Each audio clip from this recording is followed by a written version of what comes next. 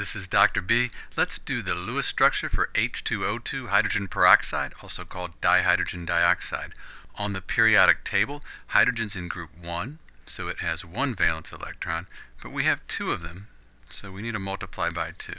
Oxygen group 6 or 16, we have two of those, so let's multiply that by 2 as well, for a total of 14 valence electrons. Let's draw it. We'll put the H's on the outside. They always go on the outside. So O, O, and then an H, and an H here. And let's put some valence electrons there. First we'll form the chemical bonds. Two, four, six valence electrons. Hydrogen only needs two valence electrons for a full outer shell, so it's good.